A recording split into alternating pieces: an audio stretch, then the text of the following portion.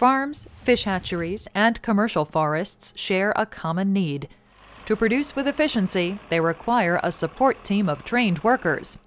Leading those teams are first line supervisors of farming, fishing, and forestry. Most often, these managers have spent time on the front lines performing many of the same duties they oversee. But in addition to hands on expertise, they've demonstrated superior organizational skills and the ability to motivate other workers. They've often had more education to prepare them for administrative and management duties.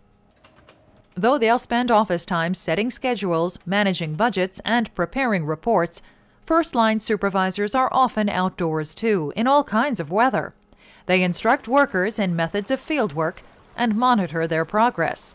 At times, supervisors may need to roll up their sleeves and lend a hand. Routines vary from season to season depending upon the weather and what is being grown. But modern technology hasn't replaced the need for getting out into the field to check growing conditions and the health of the crop. Managers and supervisors usually have at least a bachelor's degree.